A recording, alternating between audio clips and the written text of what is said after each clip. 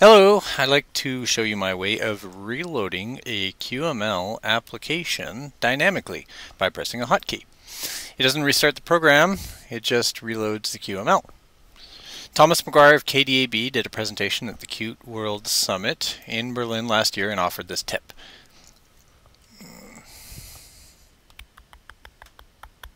Unfortunately, it assumed the developer uses a QQuickView or similar where they would then implement the event virtual method. The method would then reload the QML when a specific key is pressed in the view. I recommend checking the presentation out. It's done very well and offers a lot to intermediate and advanced developers of QQuick projects. But as my program uses the QQML application engine, it doesn't actually have a window to implement a key event listener on. To achieve the same result, I have implemented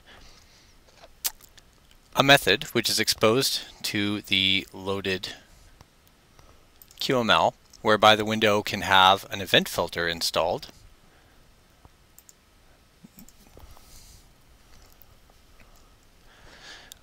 Uh, the event filter then listens for a specific key press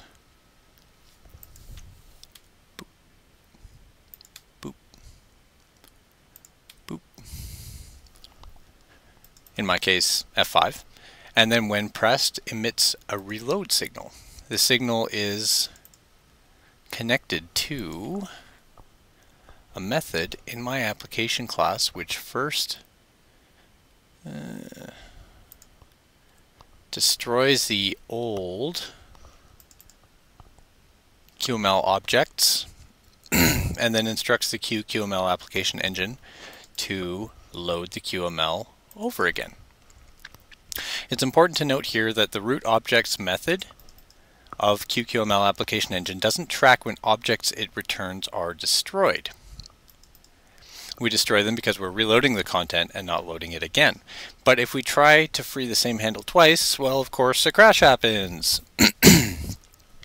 My workaround for this issue is to hold an array of pointers to the freed objects. And then when doing this cleanup again, skip them as they have already been freed.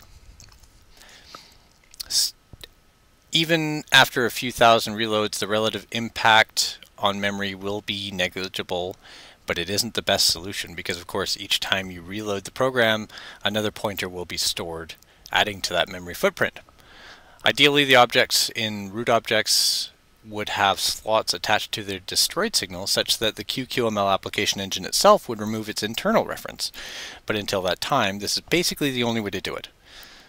So, please feel free to leave comments, questions, and if I can find the time to post an example gist, I'll, I will link to it in the video description. Thanks for watching.